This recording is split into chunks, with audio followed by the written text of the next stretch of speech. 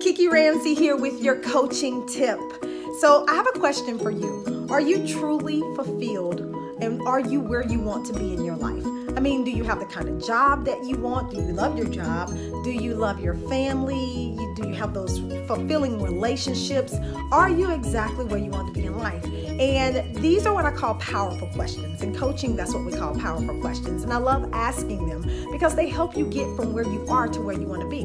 So if you are not where you want to be in life, I want to give you one simple tip that you can actually take into consideration to help you go in that direction. And that is you must first just figure out where you are.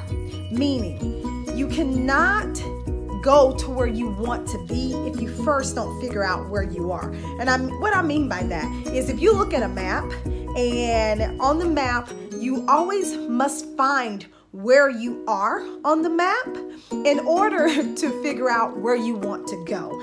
And so when we're talking about where you are, you got to acknowledge if things are not going so hot and you don't necessarily like the job, then you need to say that. Like you need to admit that. You need to be honest with yourself and you need to say, hey, you know, this job is not completely fulfilling to me. Um, and I might want to do something else. And so if that is the case, then you figuring out that and you acknowledging where you are is a huge step and you taking the next step to be where you want to be.